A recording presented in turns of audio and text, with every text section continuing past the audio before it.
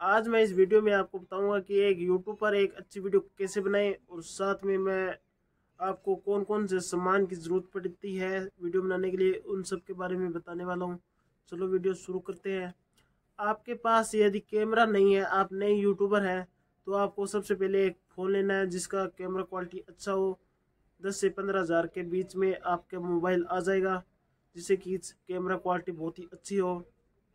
और जो दूसरी चीज़ है वो आपका स्टैंड है मोबाइल स्टैंड है, वो भी आपको ढाई सौ से तीन सौ रुपये तक का मिल जाएगा, जिससे कि आप अच्छी वीडियो बना सकते हो।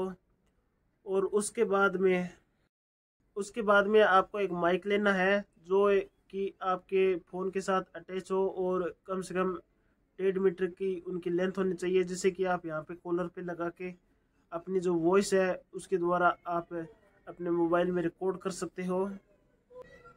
आप तेज़ बोल सकते हैं तो माइक की कोई ज़रूरत नहीं है और उसके बाद में आपको केवल एक एकांत जगह देखनी है, जिससे कि बाहर का जो शोर शराबा है, वो नहीं होगा। और ये सामान आपको क्यों ख़रीदने हैं? क्योंकि आप मोबाइल स्टैंड नहीं लोगे तो आपका मोबाइल है इस तरह से हिलेगा, आप सीधे मतलब वीडियो से नहीं बना सकते। और जो माइक है, वो आपको इसलिए लेना है, क्योंकि आप धीरे बोलते हो तो आप यहाँ पे अटैच करके माइक को अपने मोबाइल में आप धीरे बोलोगे, तभी आपकी जो वॉइस वॉइस है, वो भी बहुत अच्छी रिकॉर्ड होगी।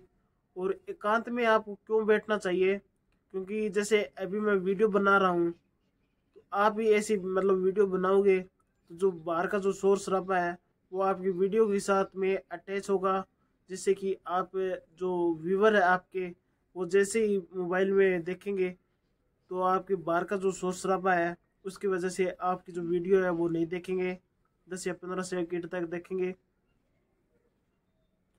आपका जो टॉपिक है, वो आपका कोई भी हो सकता है।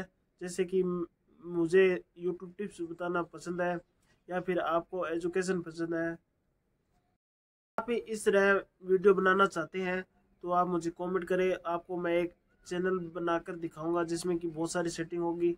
जिससे कि आपकी जो वीडियो है वो ज़्यादा लोगों तक जाएगी, जिससे कि आपकी रीच बढ़ेगी और साथ में सब्सक्राइबर भी बढ़ेंगे।